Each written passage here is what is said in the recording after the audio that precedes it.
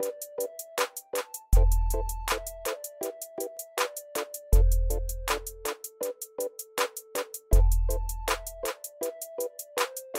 La fonction RH intègre le dérèglement climatique sous plusieurs axes, notamment euh, sur l'axe santé euh, au travail et notamment à l'intérieur de notre document euh, unique d'évaluation des risques. Donc c'est vraiment important notamment de travailler sur les questions d'ambiance thermique, de risques biologiques, tout en sachant qu'on a des différences les uns et les autres. Je rappelle que ce document unique d'évaluation des risques passe en consultation auprès de nos comités socio-économiques.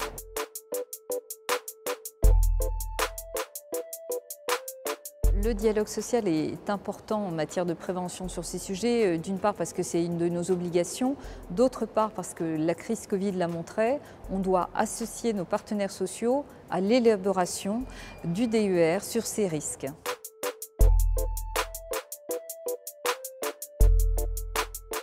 La première des choses quand on est DRH, c'est qu'on ne doit pas opposer euh, les intérêts, on va dire, euh, de l'organisation et notamment un intérêt par rapport au climat, par rapport à nos collaborateurs.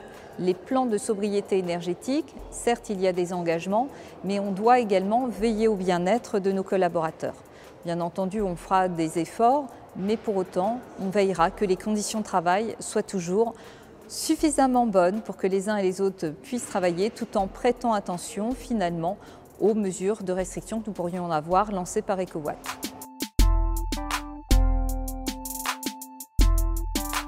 Le télétravail n'est pas la panacée pour répondre à tous les maux.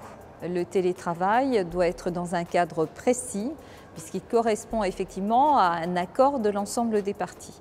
Donc dans le changement climatique et notamment sur la question de la sobriété énergétique, nous devons prendre cette dimension en compte quand nous fermons des sites, où vous avez également des activités qui ferment, puisque le coût de l'énergie a surenchéri. Donc voilà, il nous faut savoir concilier l'ensemble des intérêts avec une idée, la pérennité de nos organisations et le bien-être de nos collaborateurs.